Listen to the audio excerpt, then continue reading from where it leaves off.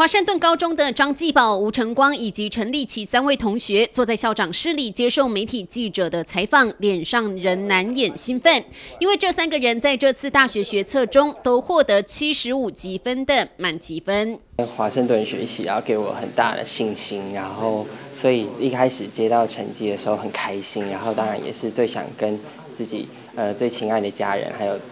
一路上陪伴我们的导师跟很多任课老师、最优秀的任课老师分享这份喜悦，这样就是真的上课真的要很认真啊，就每个地方都要理解啊，不懂的就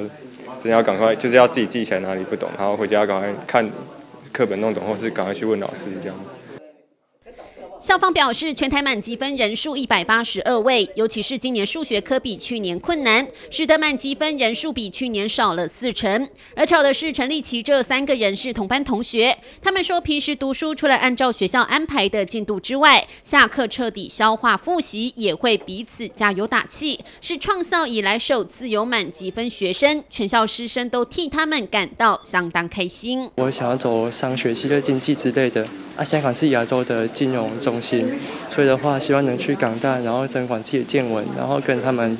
国际生，还有嗯陆生，还有他们香港生一起切磋琢磨。比如说，我们现在高中的多元课程，就是让孩子能够在财经、法律、在生物科技、生化科技都很多积极接触哈。然后在国中开始，我们一个哦五 Q 的创意课程，就是说让孩子能够培养他的领导力，培养他的创造力，培养他的啊管理力，培养他的。